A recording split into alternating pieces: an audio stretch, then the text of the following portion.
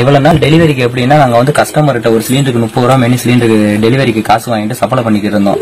ஆபீஸ்லயும் வந்து டெலிவரிக்கு எங்களுக்கு காசு கொடுக்குறத நீங்க கஸ்டமர்ட்ட தான் வாங்கி பண்ணணும் ஒரு நாள் எங்கள்கிட்ட சொல்லிக்கிறதா நாங்க அதை கேட்டுக்கிட்டு நாங்களும் சப்ளை பண்ணிக்கிட்டு இருந்தோம்.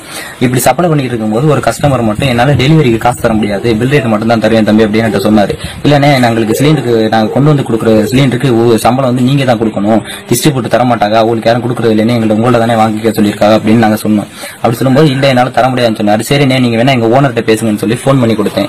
அவங்க வந்து டெலிவரி கஸ்டமர்கிட்ட வந்து நீங்க வந்து டெலிவரி காசு கொடுக்க வேணாம். அப்படி ரூல்ஸ் இருக்குதா? நீங்க கொடுக்க வேணாம்னு சொல்லிட்டு எனக்கிட்ட வந்து நான் அவர்கிட்ட சொல்லிட்டு நீங்க வாங்கிக்கோங்கண்ணே அப்படின்னு சொன்னாங்க. நான் அவர்கிட்ட கேட்கும்போது இல்லப்பா என்கிட்ட கொடுக்கக்கூடாதுன்னு சொல்லிட்டாங்க அவர் சொன்னாரு. அண்ணே நான் கஷ்டப்பட்டு சிலிண்டர் தூக்குறேன். நீங்களா பார்த்து ஏதாச்சும் கொடுங்கண்ணே அப்படின்னு கேட்கறதுக்கு நானா பார்த்து கொடுத்துக்கிறதுனா பிச்சை தான் போட முடியும். ஏன்னா உனக்கு பிச்சை போடவா? அப்படின்னு கேட்டாரு. அண்ணே தயவு செஞ்சு அந்த மாதிரி வார்த்தையெல்லாம் பேசாது ஏன்னா எனக்கு ரொம்ப கஷ்டமா இருக்கு. கஷ்டப்பட்டு உழைக்கிறதுக்கு நீங்க இந்த வார்த்தையெல்லாம் எனக்கு பேச வேணாம்னு சொல்லிட்டு அவருக்கு சிலிண்டர் டெலிவரி காசு வாங்காம வச்சுட்டு வந்துட்டேன். வந்துட்டு ஆபீஸ்ல வந்து இந்த மாதிரி பிச்சை போடுறவன்லாம் கேட்கறா எங்களுக்கு ரொம்ப கஷ்டமா இருக்கு. நான் கஷ்டப்பட்டு சிலிண்டர் தூக்கிட்டு போயிட்டு அவங்கள பிச்சை எடுத்து வாழ வேண்டிய அவசியம் இல்லை. நீங்க வந்து அவர் சொல்ற மாதிரி ஏதோ காசு கொடுக்கறதுனால தானே அவர் தர முடியாதுன்னு சொல்றாரு. நீங்க அந்த காசை எங்களுக்கு கொடுங்க அப்படின்னு கேட்டதுக்கு அப்படிலாம் ஒன்றும் இல்ல. அப்படிலாம் தர முடியாது அப்படின்னு சொல்லிட்டாங்க.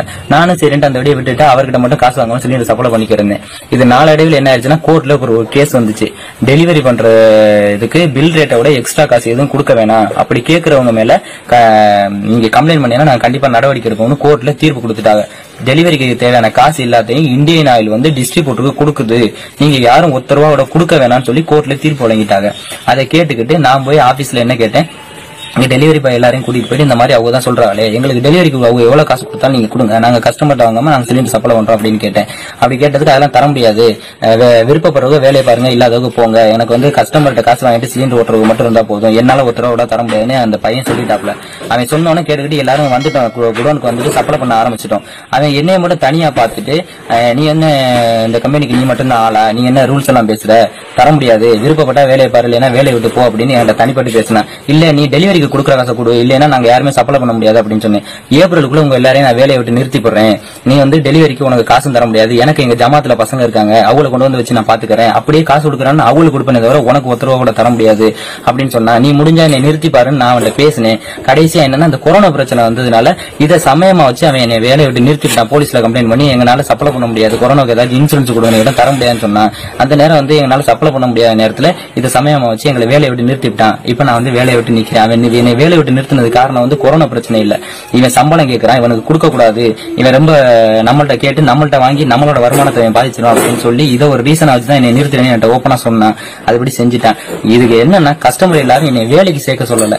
எந்த ஒரு கஸ்டமரும் எக்காரணத்தை முன்னிட்டும் பில் ரேட்டுக்கு மேல ஒத்த ரூபா கொடுக்காது நான் அது கேட்கறது வந்து என்னோட இளம்புறத்த மக்கள்கிட்ட கேட்கறேன் நான் பத்து வருஷமா இளன்புறத்து மக்களுக்கு சிலிண்டர் போட்டிருக்கேன் உழைச்சிருக்கேன் என்னோட என்னோட வேண்டுதலை கேட்டு எல்லா மக்களும் எனக்காண்டி இந்த குமாருக்காண்டி நீங்க எல்லாரும் செய்யுங்க.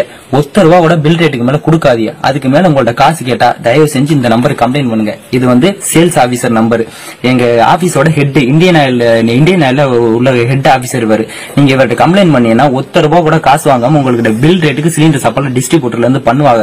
தர முடியாது சிலிண்டர் வைக்க முடியாது அந்த மாதிரி மிரட்டவெல்லாம் வாய்ப்பு இல்லை. ஒரு நாள் உங்களுக்கு சப்ளைல டிலே ஆனாலும் நீங்க இந்த நம்பருக்கு கான்டாக்ட் பண்ணா அடுத்த நிமிஷம் உங்க வீட்டுல சிலிண்டர் வந்து நிக்கும்.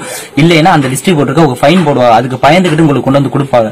டிஸ்ட்ரிபியூட்டர் எல்லாரும் மக்களை ஏமாத்துறா எங்க கம்பெனில எங்கள்கிட்ட இருந்ததுல ரெண்டு கருங்காலி இருந்திருக்கு. அது எங்களுக்கு தெரியல. எங்க கூட இருந்து எங்க நாங்க பேசுறது எல்லாத்தையும் போய் அந்த பையன்ட்ட சொல்லி அவன்கிட்ட அவன்கிட்ட கேட்டுக்கிட்டு அவனுக்கு விசுவாசம் பிறந்தவங்க எல்லாரும் என்ன சொல்றா என்ன சொல்லி இப்ப வேலைக்கு சேர்ந்திருக்காங்கன்னா நாங்க வந்து மக்கள் எங்கள் மக்கள் எல்லாம் ஏமாளியா தான் இருக்காங்க. நான் சப்ளை பண்ற ஏரியாவில ஏமாளியா இருக்கா? நான் உங்களை ஏமாத்தி எப்பவும் கூட நான் காசு வாங்கிடுறேன். நீங்க எங்களுக்கு காசு தர வேணாம். நீங்க வந்து உங்கள்ட்ட காசு இருக்கிறதுல நீங்க வேலையை விட்டு நிறுத்துங்க. நாங்க நாங்க உங்கள்ட்ட பாக்குறோம் வேலையை பாக்குறோம்னு சொல்லிட்டு ஒரு மூணு பேர் பாக்குறாங்க. மிச்ச பதினஞ்சு பேரை வே- என்னைய வச்சு பதினஞ்சு பேரை வேலையை விட்டு நிறுத்திட்டான். நிறுத்திவிட்டா ஒரு ஜமாத்துல இருந்து பதினஞ்சு பசங்களை கொண்டு வந்து வச்சு சப்ளை பண்றான். நல்லா சப்ளை பண்ணட்டும். நீங்க ஒவ்வொருத்தரும் இந்த மாதிரி டிப்ஸ் கொடுக்காத மாதிரி இருக்கும் பட்சத்துல ஏன் வேலை போயிட்டு போகுது? என்ன போல இனி அடுத்து வர்ற டெலிவரி பாய்க்கு கண்டிப்பான முறையில ஆபீஸ்ல காசு கொடுப்பாங்க இந்த வேலை கௌரவமான வேலையாகும். கஸ்டமர் நீங்களும் ஏமாறியாக வேணாம் டிஸ்ட்ரிபியூட்டரும் பணக்காரனாக வேணாம் டிஸ்ட்ரிபியூட்டருக்கு நல்ல பணம் எல்லாம் அவங்களுக்கு தேவையான வருமானம் எல்லாம் வருது. அதுக்கு மேல இந்த டெலிவரி காசையும் சேர்த்து அமுக்குறாங்க. தயவு செஞ்சு மக்கள் கொடுக்காதீங்க. இன்னமும் உங்களை முட்டாளாக்க பாக்குறா. தயவு செஞ்சு கொடுக்காதீங்க. எல்லாம் கொடுத்த மக்களுக்கு இதை நான் வேண்டி வேண்டி கேட்டுக்கிறேன். உங்களால முடிஞ்ச அளவுக்கு இதை ஷேர் பண்ணுங்க. தயவு செஞ்சு இதை இதோட நிறுத்திடாதீங்க. நான் வந்து ஒரு டெலிவரி பாய் பாதிக்கப்பட்ட ஒரு டெலிவரி பாய் எல்லாரும் சொல்றாங்க. டெலிவரிக்கு வந்து காசு வாங்கிட்டு நாங்க தர முடியாது. நீங்க வந்து அங்க போய் பேசுங்கன்னு. நான் பாதி அங்க பேசுனதுனால பாதிக்கப்பட்டேன் தயவு செஞ்சு மக்கள் எல்லாரும் எனக்காண்டி முயற்சி செஞ்சு என்னோட எல்லன்புறத்து மக்கள் இதை ஃபார்வர்டு பண்ணி கண்டிப்பா ஒத்தரவோட சிலிண்டருக்கு கொடுக்காம சிலிண்டர் வாங்குங்க. தயவு செஞ்சு வாங்குங்க. இந்த நம்பரை நான் ஒரு வாட்டி வாயாலே சொல்லிடுறேன். தயவு செஞ்சு கேட்டுக்கங்க. தொண்ணூத்தி நாலு நாற்பத்தி மூணு முப்பத்தி எட்டு தொண்ணூத்தி ஒன்னு எண்பத்தி மூணு இது வந்து சேல்ஸ் ஆபீசர் நம்பர் மறுபடியும் சொல்றேன். தொண்ணூத்தி நாலு நாற்பத்தி மூணு முப்பத்தெட்டு தொண்ணூத்தொன்னு எண்பத்தி மூணு நீங்க எந்த கம்ப்ளைண்ட் எப்போ பண்ணாலும் உங்க வீட்டுக்கு உடனே எந்த ரியாக்ஷனும் எடுக்கக்கூடிய நபர் இவர் தான் நீங்க வந்து எதுக்கும் பயப்படாதீங்க. நம்ம எதுவும் கம்ப்ளைண்ட் பண்ணோம்னா நம்மளுக்கு சிலிண்டர் தர மாட்டாங்களோ நினைக்காதீங்க. இவருக்கு பண்ணீங்கன்னா உடனே எல்லாம் நடக்கும்.